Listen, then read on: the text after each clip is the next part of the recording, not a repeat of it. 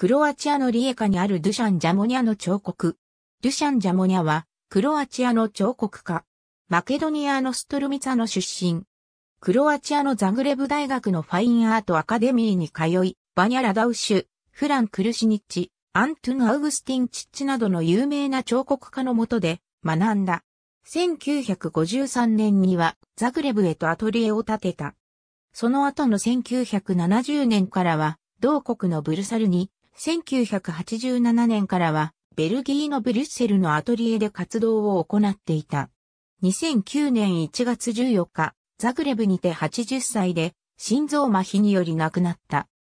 クロアチアンスカルプタードシャンザモニアダイズアット8。AOL ニュース、http コロンスラッシュスラッシュ www.aol.com。